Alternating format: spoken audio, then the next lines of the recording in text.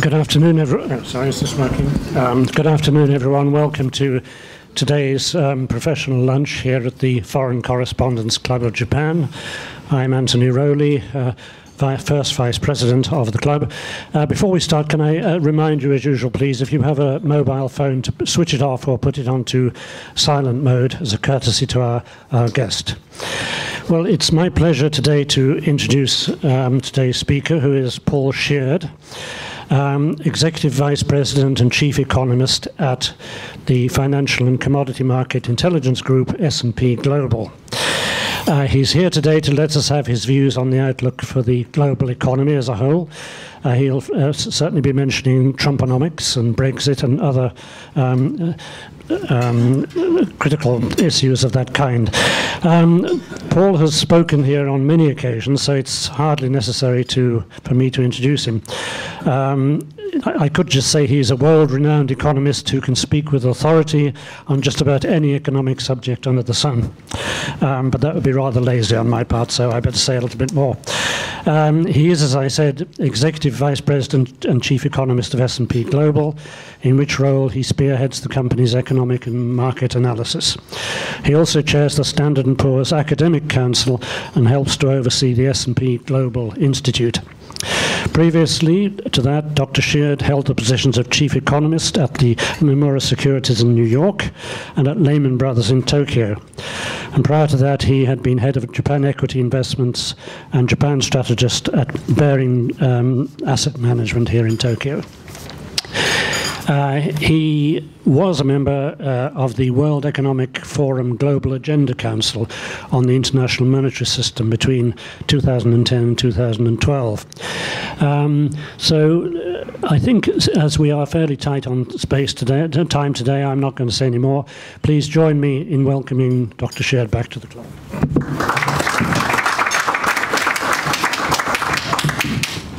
Oh, you want the podium? Yes. yes podium.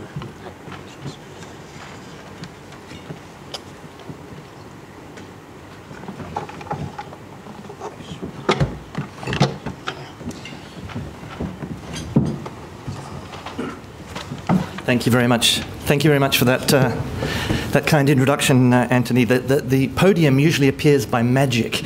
Um, I've always been quite impressed by uh, how that happens, but uh, it, uh, today was the exception that proved the rule. So, um, again, great pleasure to be back here at, uh, at this illustrious club. Uh, it's a, it's always a, an honor and a pleasure to be able to share my thoughts. So, um, you know, I always like to talk about the, kind of the issues of the day and a little bit about Japan. So I thought I would start with some observations on Trumponomics and the Trump administration, and maybe talk a little bit about Brexit, how that's developing, and uh, the key issues to be thinking about there, uh, and then maybe finish with uh, some comments on uh, where the Bank of Japan is at uh, with its QQE, with yield curve control, and as part of the whole Ab Abenomics project. So let me start with, um, with Mr. Trump and the Trump administration.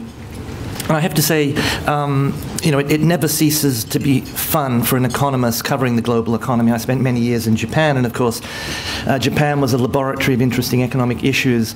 And now, of course, we have a very interesting uh, administration in the U.S. So the U.S. has kind of come to the top of the uh, the inbox. Uh, and I have to say, as an economist, uh, trying to sort of follow uh, the U.S. economy and try and sort of forecast where it might be going, it is quite fascinating because President Trump, of course, is a is a very unlikely president. Uh, uh, nobody kind of expected him to be president, certainly if you went back six months or a year, but even uh, in November, up till November 8th, uh, I think it was, uh, everybody was expecting a Clinton administration. And, uh, but President Trump is not somebody that has had really any policy-making experience. He's not somebody who's been steeped in uh, economic policy-making over his career. And, and, and, yet he has, of course, a lot of uh, interesting uh, uh, uh, views and policies that are coming out and tweets and everything else. So what I try to do as an economist is sort of try to listen to the president and, and the administration and sort of map that into an economic model and try to translate it into a framework that I can kind of understand as an economist and then try to figure out, does it make sense? Where's it going? Etc. Um, and there's a lot of there's a lot of material to uh, to work with here. Uh, just looking at the different elements of the um, Trump administration policy, in some ways it has a little bit of um, kind of uh, similarity in some ways uh, to Abenomics. If you think of Abenomics, is essentially some uh, supply side policies and macroeconomic policies. I mean, economics and economic policy making is not that complicated. It usually boils down to uh, what do you do on the supply side of the economy to try to lift potential growth, to drive innovation, uh, and then what do you do on the demand side of the economy with your macroeconomic policy tools, monetary policy and fiscal policy, uh, maybe financial system policy, to try to make sure that the economy is uh, actually generating an, enough demand to keep, uh, to essentially uh, keep uh, the economy at its supply potential and at full employment. So um, it's not no surprise that if you look at uh, Trumponomics, you see, first of all, a, a big focus on deregulation, uh, winding back uh, regulation. Now, in, in, in Japan, of course, Japan has a long and illustrious history of talking about deregulation and structural reform. It's just almost part of the national narrative. You go back to the 1980s with the Maekawa report uh, in the 19 1990s, of course, long forgotten was Prime Minister Hosokawa, and there was a big push with deregulation, and then there was the Hiraiwa report. Then you go to uh, Hashimoto administration, uh, the Big Six reform program, you know, Koizumi, and now we have Abenomics. So the idea that uh, the governments need to really focus on deregulation, uh, taking the shackles off the business community, and unleashing animal spirits and productivity, um, you know, very long history in, in, in Japan. That kind of debate is not really, you don't see it as much in the US um, as a kind of overriding narrative for, uh, for, for the federal government's policy. But that's certainly been a big theme from, from Mr. Trump. And it's something that he you know, can make a fair amount of progress with through executive orders. So there have been a lot of executive orders coming out of the, the White House, and a lot of them take the form of essentially instructions to the different uh, cabinet secretaries and, and ministries, departments to review their policies and to, where possible, uh, wind back on excessive regulation. So we've seen developments around the energy sector. Uh, we're seeing it in uh, financial regulation Doesn't mean that Dodd Frank is going to go out the window, but certainly the pendulum is being brought back uh, from perhaps what was seen as, as sort of over regulation. Uh, you see it in obviously healthcare. Um, that's not just a deregulation issue, but is also more of a social contract issue as well. Um, but you see it uh, in, uh, in those areas. And also just the whole idea that this narrative is really there now that you know, American business, not just um, big business, but also small and medium enterprises are kind of um, uh, being, you know, operating and being crushed by all this regulation. Now, I'm not exactly sure how accurate a portrayal of underlying reality it is, but it certainly is a strong narrative and is leading to um, a, major deregulation push. Um, another big uh, thrust, of course, of Trumponomics is uh, tax cuts and tax reform. Now, tax cuts and tax reform are really two different things. Tax cuts, um, although they're kind of related, obviously, but tax cuts we normally think perhaps more as having a, a stimulatory effect on demand, uh, and tax reform is really more about changing the tax system more permanently to make it more efficient uh, and, uh, and fit for purpose. So both of those uh, objectives seem to be there. Uh, so it's a mixture, if you like, of aggregate demand support and also sort of uh, tax reform, which is aimed at unleashing animal spirits, uh, driving more investment in the economy, uh, and, and lifting uh, real potential growth again. And I'll come back to that uh, issue of potential growth in a moment. Uh, a third major uh, pillar of, of Trumponomics, if you like, of course, is the infrastructure plan, the idea that was floated in the campaign of a trillion dollar infrastructure program over 10 years. Now, just to sort of you know, benchmark that, that would be equivalent to maybe a little bit less than half a percentage point of growth per year if you actually got a trillion dollar infrastructure uh, uh, stimulus on top of um, the existing infrastructure spending that is, is in the pipeline anyway. Um, and that's, of course, an open question as well. We're very familiar with these arguments from Japan that when plans are announced, sometimes they may just be kind of cobbling together some of the existing plans, and it's not necessarily as big a net addition to demand as, as may be uh, as may appear. Um, but when it comes to both the tax reforms uh, and also um, uh, the infrastructure plans, they're still very early in terms of, you know, still plans being debated in the Congress, um, and it's still going to be some time before these plans actually uh, are, are, really ready to, uh, you know, to be uh, voted on and, and, come to the president's desk. So we're not really factoring in very much by way of stimulus to growth. This year, maybe it's more of a 2018 story. So deregulation, uh, that's supply side reforms, infrastructure spending, tax cuts, that's sort of you know fiscal stimulus, uh, and um, uh, the tax reforms. They're all things that market participants and economists would typically probably applaud. There are a couple of other elements where people are perhaps uh, a little bit more sanguine and see some downside risk factors. Uh, one of them is around Im immigration and sort of building the wall and uh, uh, and whatnot. Um, now, again, it's not for me to tell either the Japanese or the Americans what sort of immigration policy they should have, since I hold a passport in neither countries. Um, but I think what you can observe with some degree of objectivity is that the immigration system in the US is broken. Uh, and that's really, I think, the premise on which public policy needs to be based. And it's kind of broken in two senses. One is that there has been a lot of um, undocumented workers uh, over the last uh, couple of decades coming into the US. So, you know, security of the border is an issue. Uh, and so the idea that you might want to secure the border, um, you know, is not something that in and of itself is, is all that shocking. And say, well, that's really what any sovereign nation uh, should be uh, able to do or want to do. Um, but it's also the, the legal immigration system that is really bottlenecked up. Um, and if you know if you're living in the U.S. and uh, you want to continue to, to work there and maybe get a green card, um, you know, it's pretty difficult, and uh, you know, the line can be very, very long in some cases, maybe even up to 10 years, um, unless you are really supported by a company uh, and there's a particular job that is waiting for you. So, um, you know, the land of immigration, the U.S., you know, has really got to a point where uh, that uh, you know, driver of dynamism and, and, and, and growth over many decades uh, is being called into question. So we'll have to wait and see how immigration policy pans out. But in principle, um, it may not be a bad thing, but if it led to a much more exclusionary bias, then that, that maybe uh, will have some economic consequences. Um, the, the, last area, of course, I, I want to touch on is, tr is trade. And uh, again, that was a big issue in the election and the presidential campaign. And one of the few promises that Mr. Trump acted on pretty much immediately, literally the first day in office, was to withdraw from TPP, uh, which was. Um, again, something that he campaigned pretty strongly on. But not everything that he campa campaigned on did he you know, immediately move to uh, implement. So it does appear that Mr. Trump feels quite strongly about these trade issues. Um, and, you know, the mantra there, the sort of political uh, slogan is, yes, we support free trade, but, but free trade needs to be fair. So it's this idea of free but fair trade.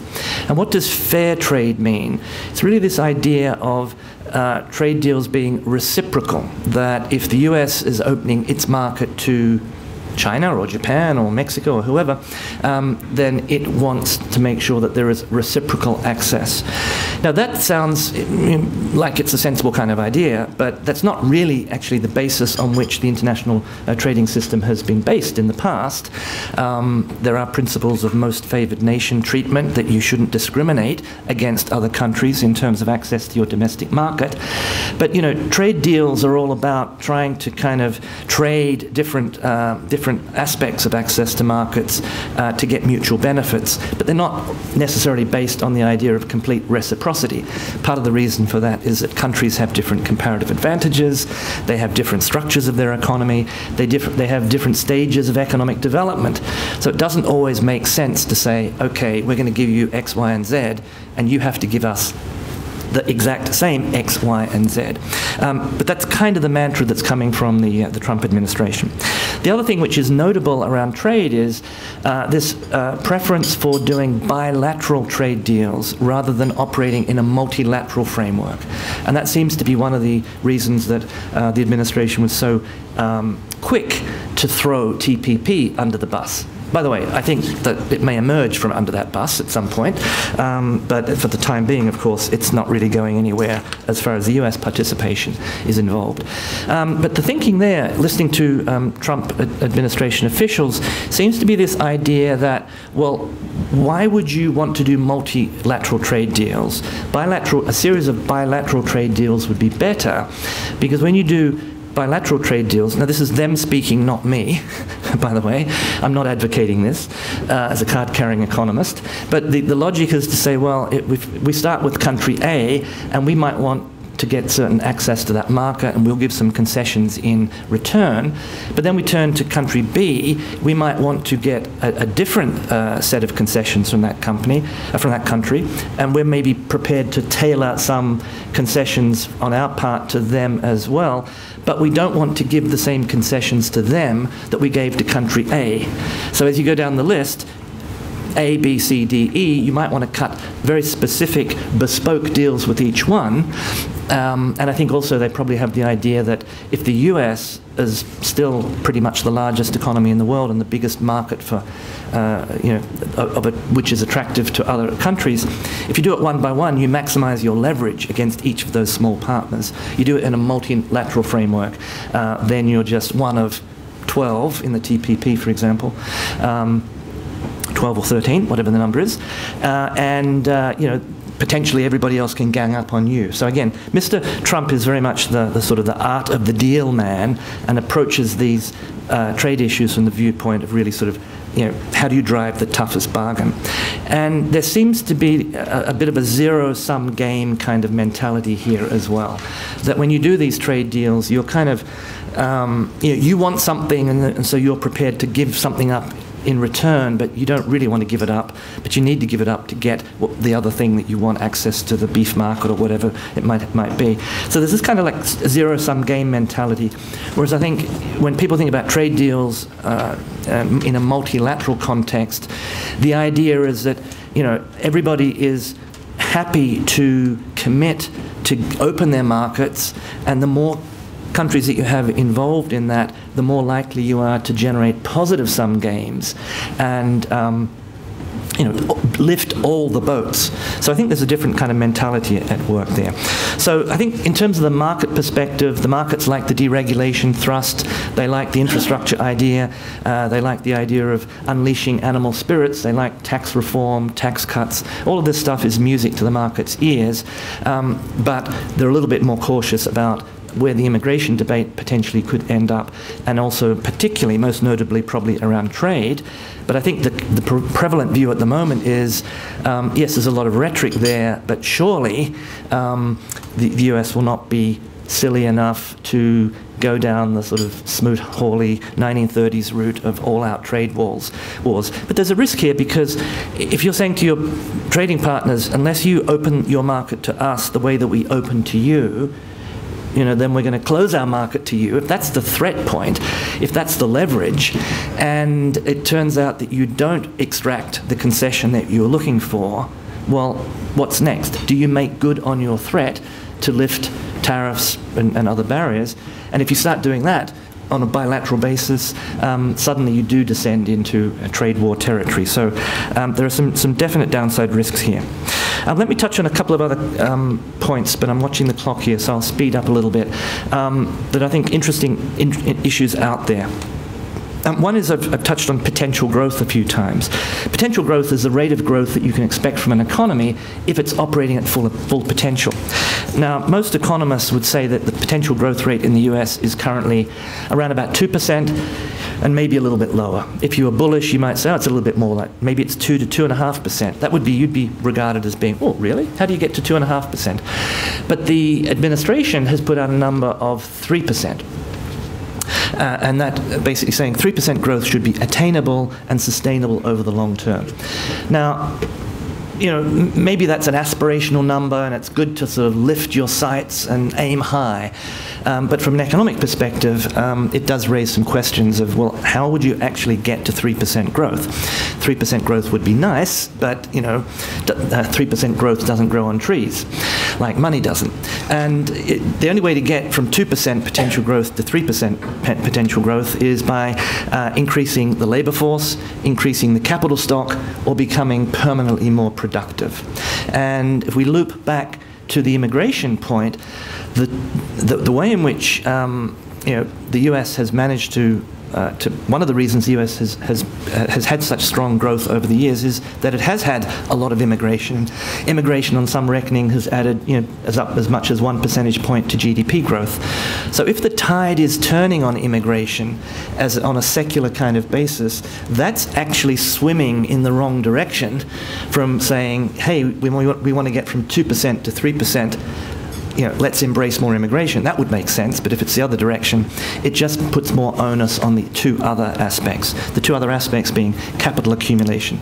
Now, um, you could see the deregulation thrust, tax reform, that is all sort of pointing in the direction of wanting corporate Japan, uh, sorry, corporate the US uh, to invest more. That could lead to higher potential growth uh, in, in the longer term. But again, you know, easier said than done. Similarly for productivity, um, there's been a lot of debate in the last few years, uh, particularly in the US, but, but even elsewhere, around the productivity puzzle. That productivity growth has continued to slow, and since the financial crisis has been running at around about half a percent or so. Um, and if you could take that to say one and a half percent, then you might get from 2 to 3%. That's arithmetic. But um, again, lifting productivity, growth, and remember, we're not talking about a one off shift, we're talking about a continuous increase in productivity growth year in, year out. Um, is not is not an easy thing to do. Again, the deregulation, the tax reform um, may help in that regard, um, but uh, it's it's a very very heavy lift to get that much productivity improvement. So that's just one, one thing to keep an eye on there. Uh, a second issue, uh, which I think is very of, of, great interest in the markets, although uh, people are not focusing that much on it right at the moment, is what, how will the Federal Reserve fit into the Trump administration's economic policy framework? Um, and uh, that's very relevant because Mr. Trump has an almost unique opportunity to put a real stamp on the Federal Reserve. Uh, there are seven uh, governors on the Federal Reserve Board of Governors that form the core of the Federal Reserve System, permanent voting members of the FOMC, and there are three vacancies at the moment, including the very important vice chairman for financial oversight position that has never really been filled.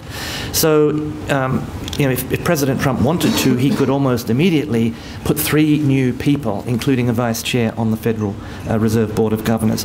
But the big prize, of course, is the chair of the Federal Reserve, which is at the moment Janet Yellen. Well, her term comes up in February of next year. And um, most people assume that President Trump would choose to put uh, his own person in place at the top of the Federal Reserve rather than keep Janet Yellen on. Um, and that will be, again, a very big appointment. What's sort of at stake here is, um, you know, the, the idea of the, the Fed remaining an independent and rather sort of uh, non-political, technocratic uh, body. Um, now, I think there is some room for central banks like the Fed to perhaps um, be brought a little bit closer into economic policy making of the government. Uh, in fact, the Federal Reserve itself, if you look on its website, in explaining its independence, says, well, the Fed is not independent of the government, it's independent in the government, recognizing that monetary policy is really part of overall government policy making. So I think for a number of reasons there is some scope for the pendulum to swing back a little bit, and maybe the Federal Reserve uh, can be seen as participating a little bit more in the coordination and the communication around economic policy, a little bit like it is in Japan, frankly speaking, um, with the uh, Economic and Fiscal Policy Council, with the monthly uh, economic meeting of the cabinet, the central bank governor uh, turns up to those meetings. Uh, so there's closer communication. That closer communication and need for closer communication and coordination is actually written into the Bank of Japan law, Article 4. Um, so I think that's not a bad framework. so if that's the direction of travel in the US as well, I think that would be positive. But what the markets uh, and many economists would be worried about is if um, the independence of the Fed was really usurped and the Federal Reserve chair and other board positions started to be seen very overtly as political appointees who are really doing the bidding of the president. So that's something to watch uh, going, uh, going forward in the next few months. Um, and just one final point, maybe, um, on sort of thinking about the coherence of the whole policy framework of Trumponomics. Does it all sort of fit together? Um, I mentioned the fact that you know the aspiration to get to three percent growth may be a little bit uh, a little bit far fetched. Uh, good to have that aspiration, but maybe not all that realistic. But um, the other point that I would focus on is if you look at what the different elements of policy here. So one of them is to essentially lift investment. Another one is to cut taxes. Um, both of the, and, and, another one is that Mr. Trump clearly doesn't like trade deficits. He sees trade deficits as a form of weakness and essentially as an indication that you're, um, you've lost the, the battle with your trading partners, they got the better deal, they got the upper hand. So essentially, uh, you might say, well, what, Trumponomics is aiming for is an increase in investment, uh, maybe cutting of taxes, and also decreasing the trade deficit and the current account deficit. The trouble with that is, if you know a little thing called the National Accounting Identity, which basically says that net savings in the private and public sector, that is savings minus investment equals the current account balance, um, you will see, and if you write that down and study it for a moment, you'll see that uh, unless there is a massive increase in savings in the economy, either in the household sector or the corporate sector, um, you just really can't cut the current account deficit uh, if you, at the same time, you're increasing private investment and cutting taxes. Now, one argument would be that the cut, a supply side logic that by cutting taxes and doing tax reform, you're going to end up with more tax revenue because the economy will grow so much that it'll just pay for itself. That's the supply side logic. Um, but again, I don't think that's something that you would want to put your uh, mortgage on uh, actually coming, coming true. Now, why is this important? Well, you know, it might be important in 12 months' time or two years' time as we move towards the midterms, one and a half years' time, if it turns out that uh, with more fiscal stimulus in the economy, the Fed is actually raising interest rates at a faster rate. That's where the independence issue comes into play. The dollar is likely to be strengthening. Um, that's not going to be particularly good for exports. And if the current account deficit and the trade deficit are actually getting much bigger, that will be something that maybe Mr. Trump will say, hold on a minute, um, you know, who's to blame for that? And it probably won't be him. It may well be you know, whoever is generating the, the, bigger, the bigger surpluses, China, Germany, Mexico, uh, Japan, whoever it is. So, you know, how that politics uh, plays out will be very uh, interesting to watch. So, um, I didn't realize I was going to spend 28 minutes on Trump. If you want to say something about Brexit, you've got a few more. Okay, so i am going to I know that uh, Anthony's going to cut me off at my legs in a few minutes, and we're going to leave plenty of time for Q&A. But I did want to just touch very briefly on um, Brexit and, uh, and the Bank of Japan. So on Brexit, um, you know, Britain leaving the EU is a monumental act. It's a, it's a giant uh, earthquake in Europe. Um, now, Article, Article 50 has been triggered in March, and a two year process of Britain negotiating with the EU to leave the EU uh, has begun. Um, the point I would really just like to kind of make here, and I think I probably made these comments at previous uh, addresses at, in this room, is that there's a lot more going on in the EU and in the Eurozone, and they have a lot more challenges than just dealing with Brexit. Brexit is a real shock to the system. I mean, it's the second largest economy, Britain, uh, in, the, in the European Union. And, you know, in some ways it's not very nice of the Brits to pack up their tent and say, okay, we're out of here, you deal with your problems by yourself. Um, so there is a, a, certain amount of wounded pride and, and a lot of disappointment. But the fundamental sort of problem or set of challenges in the European Union 28 to become 27 countries, and particularly with the 19 countries in the European Union that are in the Eurozone, that share the euro as their common currency, uh, there are enormous challenges there which have to do with the fact that the, the Eurozone and the EU are really a kind of half built uh, political and economic house.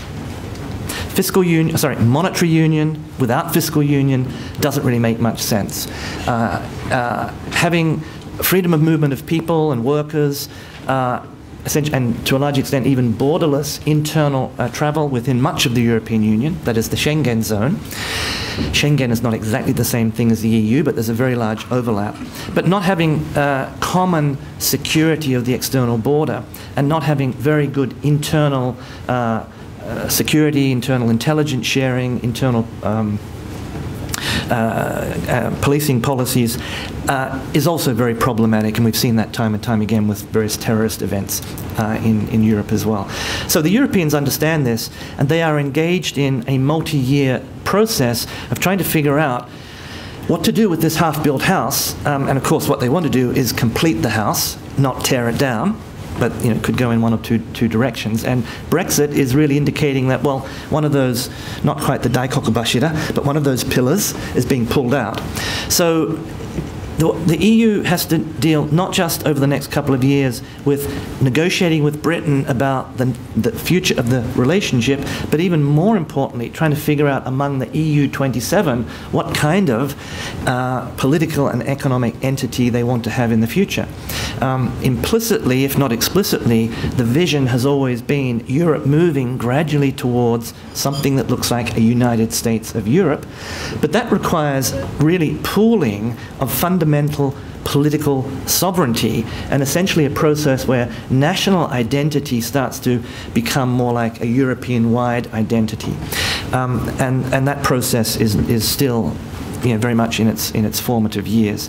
Now, one thing I'd just like to point out here is we have this very important set of elections this year. We've already had essentially two down, two to go. The Netherlands in March, France in uh, just a couple of uh, week ago, last weekend, and then of course Germany coming up in September, and then there's another one early next year, probably the Italian referendum. There's also a British, uh, sorry, the Italian election, also a British election, but that's less relevant now given Brexit. So these four important elections, two of them down, and they seem to be going sort of well in the sense of you know more pro-European politicians are prevailing. Um, but this is a sort of a year politically in Europe where. Um, to a large extent implicitly, but to a certain extent explicitly, uh, electorates are being asked to really vote on the future of Europe. And speaking of the future of Europe, uh, for people like myself who kind of obsess about these things, an important white paper came out uh, on the 1st of March this year that if you're interested in this topic you might want to look at, which was called a white paper on the future of, the, uh, of Europe and particularly what would Europe look like in 2025, well after Brexit? And what was notable about this white paper, and, and the white paper didn't come out of the blue, it, there was a history of how we got to this white paper, which goes back uh, a couple of years. But anyway, um, what was notable was that for the first time, the European Commission which is sort of the government of the European Union, laid out five scenarios for the future of Europe. Um, one of them was basically just keep doing what they're doing, kind of muddling through. Another one said maybe we should focus much more on the single market and make that the cornerstone of the European Union. Another one said, well, maybe we um, focus on a few things, not just the single market, a few things, but don't try to do everything. Don't be everything to all people. A fourth one said, um, why don't we have more multi speed Europe? That is, those countries that want to do more together, for example, maybe have a fiscal union or maybe have um, much more political union, let them do that without requiring that everybody jump on the same boat. Um, sort of a multi speed or a concentric circle Europe and the last one was no, everybody does more together, which is the more traditional uh, premise of the European Union. So, what is sort of interesting there is that if you look at a couple of those options, they're actually not that different philosophically from what Britain was asking for in trying to renego renegotiate its stance with the EU, and that ended rather badly But now the EU is actually having to, to think about the same issues in the context of the EU 27. So, bottom line here is um, watch this space. It's slow moving.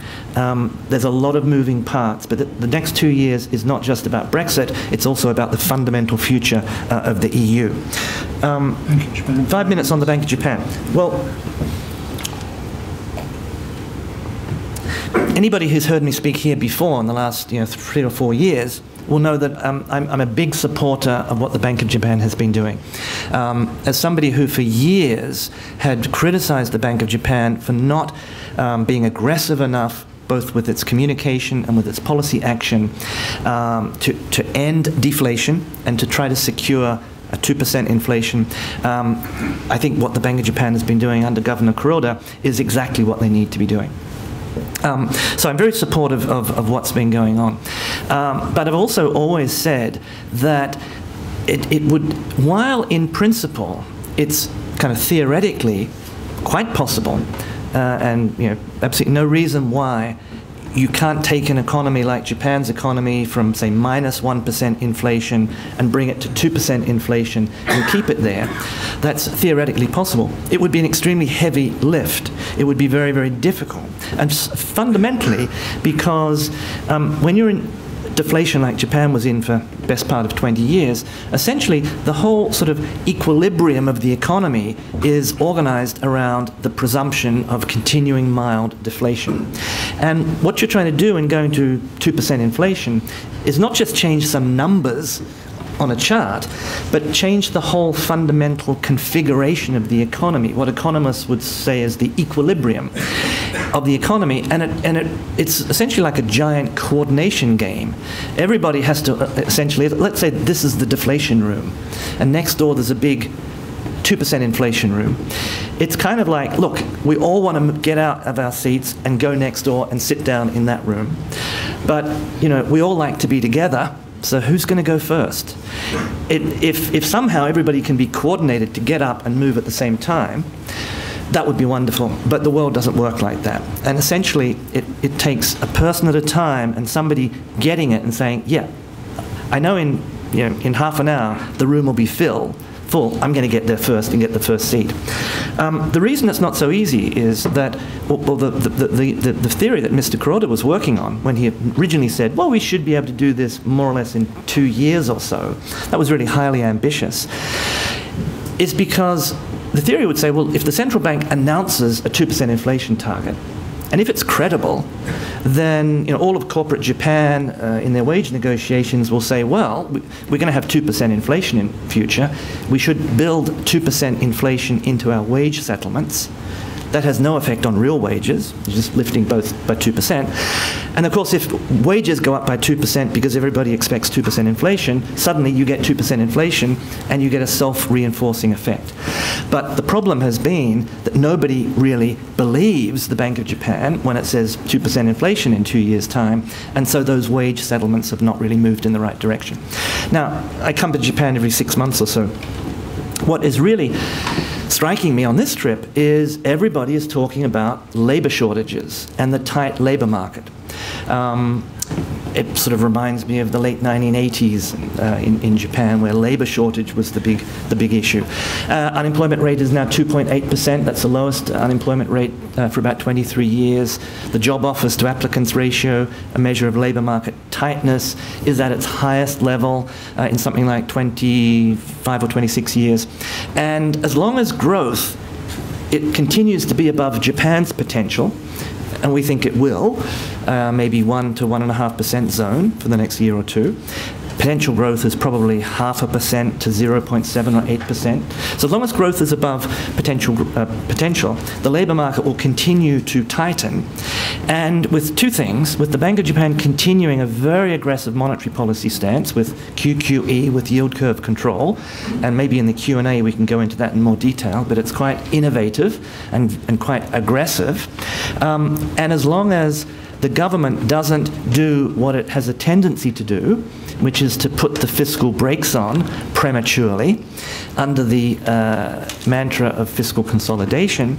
And the second round of the consumption tax is not scheduled until October 2019, so there's still two and a quarter or so years. Uh, there is a pretty good runway here with the tightening of the labour market for Japan actually to, um, to achieve that 2% uh, target, or at least get very much on the way to doing it. So I'm a little bit more optimistic and constructive uh, on the outlook uh, for the reflation side of the Japanese economy uh, than I've been in the past. And you know, when it comes to real growth, of course, the demographics are a big headwind here. But um, every time I come back to Japan, I'm just reminded again of the incredible social capital and the infrastructure.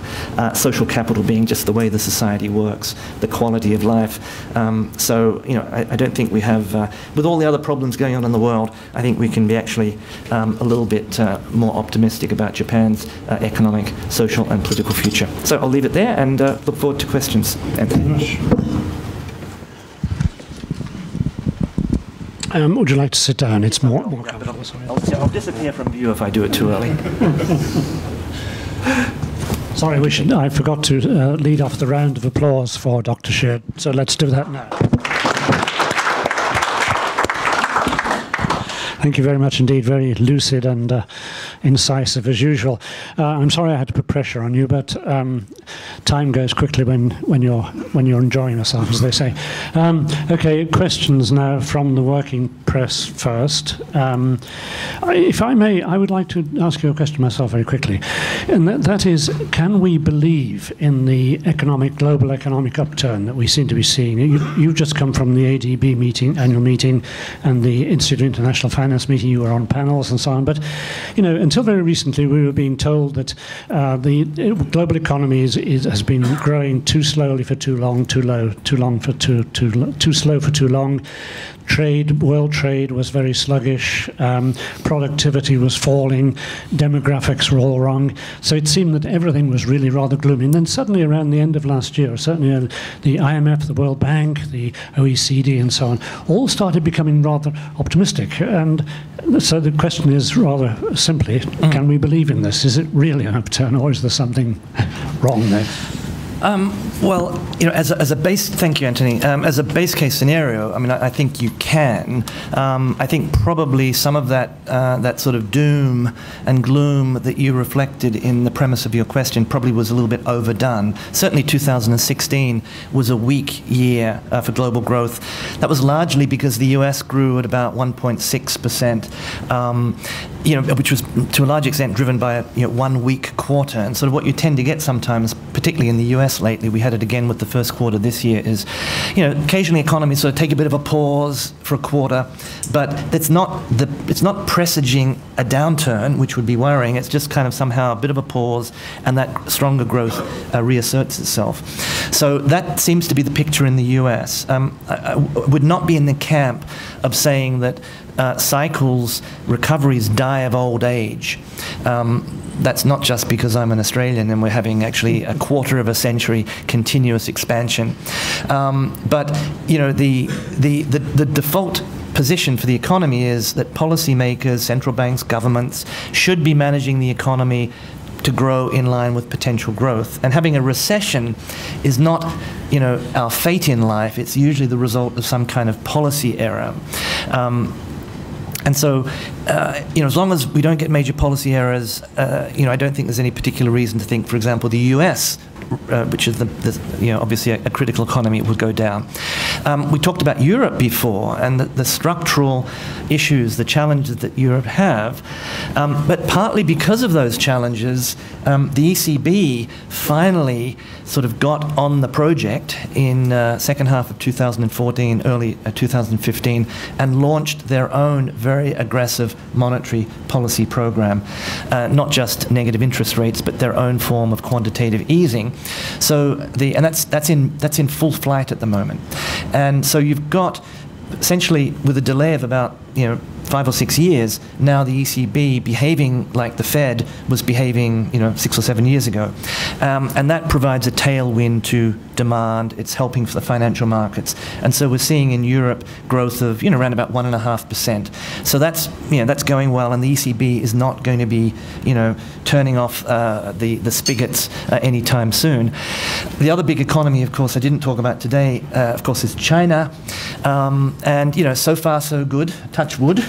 Um, growth is, is running pretty much in line with the government's target, actually a little bit above. Cut the target now is 6.5% growth. First quarter was 6.9. Um, and you know, so China does seem to be uh, engineering a soft landing, a so-called soft landing. There are things to worry about in the Chinese economy: the build-up of debt, um, the fact that credit continues to grow uh, substantially above nominal GDP growth. Um, it's still a credit intensive and investment intensive economy.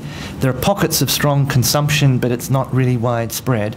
But the Chinese government has a lot of uh, resources. It has a lot of um, has a track record of keeping the economy on an even keel. And one thing to realize about China is, like Japan, it's been running a current account surplus for probably decades now, uh, which means that China is a net lender to the rest of the world. So if China has internal debt problems, uh, that debt, push come to shove, can actually be fairly easily absorbed uh, with, by the government taking some of it onto its own balance sheet. So um, if you do get problems really of a financial nature starting to come to the fore in China, um, they probably have the wherewithal to deal with them. So we're not mm. we're not sort of you know panicking about China. The other economy, perhaps not, not to leave out, of course, is one that doesn't get talked about as much, which is India. And uh, you know, India for the last uh, couple of years has been growing at a faster rate than China. It's you know 15, 20 years behind in at least in the economic development race. Um, but there's a lot, as you know, Anthony, from being at the ADB meetings and other meetings that you attend, a lot of good things going uh, in on in India under the Modi government. Yes, they have a lot of challenges, but um, they're doing a lot on the structural reform side of the economy. And as long as that reform momentum continues, um, there is a tremendous thirst you know, for growth in, in, and for economic development in India. And that could be you know, a very long-term, sustained, uh, positive story for the global economy so we can believe in it. All right, uh, questions from the working press. If there aren't any questions from the working press, let's take questions from anyone who cares to ask a question. No questions? Well, well, let me, if I may ask one, one more question. That is, um, debt, mm. the, the, growing levels of global debt, particularly in the emerging economies and especially in the corporate sector. A lot of voices are voicing concern over this now, including Mr. Kuroda, who spoke here this week on this. I mean, this, how serious a problem could this be? I mean, as interest rates rise, as the Fed and others taper their asset purchases and so on, is it? Are we looking at another debt crisis, possibly? Mm. Um, Yes, so I think there is there is a build-up of debt. The IMF, as you said, has been talking about this for a couple of years now. I mean, certainly our um, our ratings analysts within S&P Global Ratings um, are monitoring monitoring the situation quite closely, and the, the, kind of risk is that there is a lot of um, dollar-denominated uh, corporate debt in emerging markets, and you know if with Trumponomics, uh, the, what we end up with is a much uh, much higher interest rates, and you know the, the Federal Reserve made three interest rate hikes. So it's now the federal funds rate is 75 basis points to 1%. That's still very low, but um, they're basically indicating that probably another two rate hikes in the, in the second half of this year. Um, again, they're not they're not, they're not pre-committing to this, but they're kind of indicating that they're on the right trajectory for another three interest rate hikes next year and another three interest rate hikes in 2019. So that would take the federal funds rate to around about 3%. And you know, Japan is probably still going to be stuck close to zero, and um, you know, the, the eurozone um, probably close, you know, maybe a little bit higher than zero, but still very, very low. So, you know, the U.S. is is ahead of the pack and you know rising interest rates you could have a much stronger dollar and uh, you know capital flows if you like coming back into the US kind of ending a period a secular period where the kind of only game in the global economy was emerging markets and that's why liquidity conditions were very very uh, very ample. So yes it there, there, there, does look to be some stresses uh, in emerging market space but we don't think it's necessarily you know highly systemic and of a magnitude that we've seen uh, in previous occasions. Take the Asia um, mm-hmm. Crisis back in 1997, for example. Um, and you know, part of the reason is that macroeconomic policy frameworks in large parts of the world, Asia in particular, um, are much stronger. Uh, so there have been a lot of improvements. People have seen this movie before and have made preparations for it. And you know, the leading emerging market economies, that is China and India, are not. You know, China has its debt problems, but as I said, they're pretty internally um, manageable. So you know, when we look around, you do see economies like you know, Turkey, South Africa, economies in uh, Latin America. Um, you know, obviously Venezuela is a problem economy at the moment, but you know, Argentina, um, Peru, Chile, some of these econ- Colombia, which may face problems, but none of those economies, you know, with all due respect, well, Turkey maybe is a little bit different, but really rise to the level of causing, you know, major sort of systemic issues for the global economy. Mm. Yes, that's good. Identify yourself, please, as usual. My name is Kurt Sieber. I'm an associate member. Uh, thank you very much for your very interesting speech. I have two points I would like to raise. The first is about inflation. Um, the, the, famous 2% line uh, was, according to my best knowledge, was at the start a reduction target when um, inflation was running at 5%, 6%. So uh, banks increased the interest rates and the um, price or the inflation was supposed to go down, and it did. Uh, now, you cannot automatically assume that if you do the opposite, that if you go down and down, like we in Switzerland, even with a minus interest, uh, that automatically the result is that the uh, inflation is going up. So uh, that's my first question. Could you please comment on that first? Uh, yes, with great pleasure. Thank you. That's a very, uh, very important and uh, insightful uh, uh, observation there. Um, yes, there is a there is an asymmetry in uh, in in the in the ability to achieve the inflation target, and until really the financial crisis, well, until Japan of the 1990s, and then more recently globally with the financial crisis and the Great Recession in 2008 2009, um, predominantly, you know, the the challenge was to bring high inflation down to two percent. And so inflation targeting regimes were kind of based on that premise. And so if you think about how a central bank can achieve that 2% inflation, it has to be seen by the public to have the ability to achieve that target. And there's, so it needs sort of two, two, it needs to worry about that problem in two directions. If you're above 2%, well, what tool do you have? As you said, you can raise interest rates. And if you raise interest rates, you will tighten financial conditions, you will slow down economic activity. And eventually, if you do enough of it, you even throw the economy into recession and you can squeeze inflation out of the system. But if you're fallen below uh, 2%, say you're slightly negative, then how do you, how do you convince um, the, the, private sector to generate the econo economic activity uh, and, and to, to build up the sort of pressure in the labour market in particular um, to get back to 2%, uh, it, it it's sort of asymmetric. And the, I, I, use the metaphor to try to get this point across um, of thinking about a horse. If, if, if you're riding a horse and the horse is galloping away and you have the, the reins and the stirrups, you can always pull the reins and the stirrups and slow the horse down um, to you know, a nice little gallop. But if you're trying to get a mule to sort of do a little bit of a trot. Um, you know, you can preach to it, you can whip it on the, on the backside, but it may just refuse to move. So there's an inherent sort of asymmetry in, in the ability to generate the economic activity. Um, sorry, the second question fairly short. But, but, please, but, but, sorry, if I just finish off, finish off. But that doesn't mean I would submit that that, that doesn't mean it can't be done.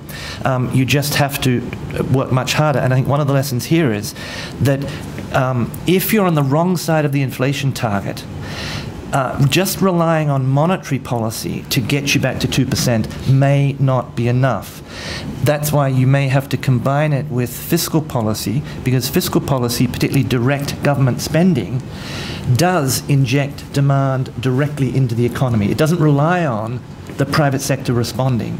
So I think this has been the policy error that Japan has made over the years, um, and other economies have, have done similar. I think in those occasions, much more coordinated and aggressive, sustained monetary and fiscal policy is what's needed. Thank you. Uh, second question about the uh, labor shortage. Mm. Um, well, uh, indeed, there is a labor shortage in specific industries, but overall, my strong feeling is that the um, the, the, labor pool is not properly um, divided. There is a, mo uh, a, mobility problem, both in terms of um, the, the, the, craft or the work you're doing. There is a geographical uh, problem. Uh, so, um, but um, at the base of that, why do, why do the salaries not go up despite the labor shortage? And they do go mm. up in mm. certain mm. places, mm. yes. Um, there is still a tremendous um, free labor pool. Um, Japan's uh, well um, unemployment uh, percentage is some, somewhere in the three percent range.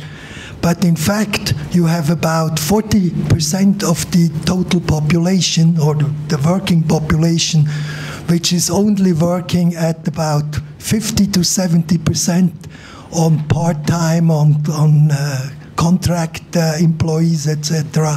So these people uh, still represent, um, from an overall point of view, at least 10%. So my internal um, figure is the unemployment rate in Japan is about 13%. Okay, we do need. I do need to get in an extra question, one question. So yeah, please, so, I'll have to cut. No, I have to cut you off there. I'm sorry, yeah, but no, please. So please, no, mm. that's the end. Uh, so uh, very good. What, Thank what is your comment okay, about well, that? Well, well, very, very briefly. Um, Yes, I mean, again, unemployment rate uh, is not necessarily always a sufficient st statistic for the total, uh, the amount of slack in the labor market. So in the US, for example, um, economists, market watchers look at two measures in particular, the, the, the, headline unemployment rate and another measure that takes into account what you just talked about. And that measure, even in the US, is much higher. So, so yes, you know, 2.8% uh, on an unemployment rate that never got above 5.5% um, is probably uh, not quite as tight as it looks. But I think the direction of travel is very much in the right direction. Um, and I think also the, the aging issue in Japan actually plays in the favor of eventually inflation coming back, even if you didn't have all the help from the Bank of Japan, um, in the sense that basically in a, a secular period where more and more people will be retiring dropping out of the workforce but continuing to consume. So you'll have sort of fewer people producing, just as many people consuming, which kind of again leads you directionally uh, to tighter uh, labor market conditions. So, you know, again, I don't think it, I, I would just be um, uh, kind of. Uh, uh, George just observed that, that things are moving in the right direction. Um, it's still a long way to go, but uh, it is just very fascinating that literally now I just, you know, all I seem to hear about at these conferences is labour shortage uh, and, and, and labour market tightness, um, which is very welcome news for the Bank of Japan. The other reason, of course, that's, that's, that's noted, I think Governor Kuroda has made this point, is that you know, in the organised, the so-called lifetime employment sector, um, wage settlements are not as responsive to short-term conditions in the labour market because by definition um, you've got long-term relationships. Um, and that's actually a card that Japan could have played more, is more, um, you know, using the spring bargaining process and whatever uh, to sort of coordinate uh, wage increases. I know the government has tried to, to rally the troops in that direction, but not too successfully so far. Can we take just one more? Sure. Okay. David, um, needless to say, sure. brief, please. I understand. Paul, in the dozen or more years we've known each other, eloquent as usual. Thank you very much. Thank David Satterwhite, uh, an associate member and member of the board uh, this year. Um, you spoke I think, very clearly about the danger, uh, or at least the caution, uh, of uh, the Trump administration's um, potential impact on the Fed in the, in the U.S. and and the politicization of the of the potential of that. Um, here in Japan, that was an issue. Uh, it's been an issue over the years, uh, and the current um, policies of, of Kuroda-san. Um, I tend to agree with you that he's done what's needed to be done and, and done uh, very, very um, effectively. If you were to step back and, and the, say, the, the close coordination of policy between monetary and fiscal, and including uh, Kuroda-san, what prescription or cautions might you have for Prime Minister Abe in the remaining years of his term to really move this economy to the next step? And we are comfortable here, but uh, there is the potential for more growth, in my uh, uh, opinion. Mm. and so I'm just keen to hear your prognosis and, mm. and uh, advice. Thank you. Oh, great. Well, that's a, that's a, a great uh, a great question to end on. Um, so just on the you know on the on the coordination uh, front, again, I think that um, what J Japan is, is very interesting. And you know, if you look at the last 20 years of macroeconomic policy making, talked about the Bank of Japan, for example, they've often actually been more of a front runner with policy And of course, the Bank of Japan famously pioneered quantitative easing. Um, they also pioneered credit easing. They pioneered forward guidance, um, etc. Um, and now they're pioneering this yield curve control and the overcommitment. So there's a lot of stuff. But they've also, um, you know, I think the government and the Bank of Japan have done some interesting things. The way that they revised the Bank of Japan law, for example, 1997 came into effect 98.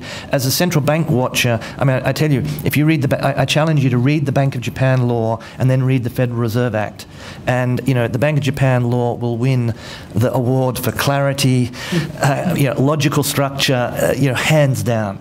So, and, and one of the cornerstones of, of that law is and then you have the, you know, the, the, economic, the, uh, Zaisei Shimon Kaigi, Keizai Zaisei Shimon Kaigi, Economic and Fiscal Policy Council, uh, and other mechanisms. You have the financial crisis uh, framework that was put in after the, the, Japanese financial crisis, which is a permanent ability, gives the government a permanent ability, again, coordinating between the government and the Bank of Japan, to ha have TARP-like capitalization of the banking system.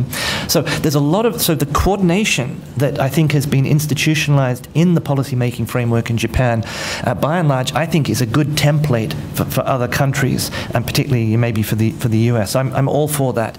Um, what could Mr. Abe do in the remaining years? Well, I guess we don't know how many years are remaining, um, but um, I guess one thing he could do is stay on for longer. That would keep Abenomics going.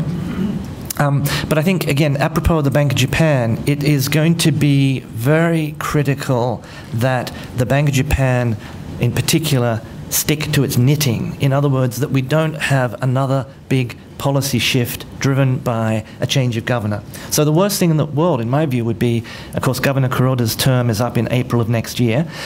Um, some people uh, uh, are speculating and hoping that maybe he might be prevailed upon to have a you know stay on for another couple of years to see this work through. Um, if that doesn't happen, then I think it's really important that whoever is the new governor uh, of the Bank of Japan be seen very much, and the new deputy governors be seen very much as continuing with the current framework.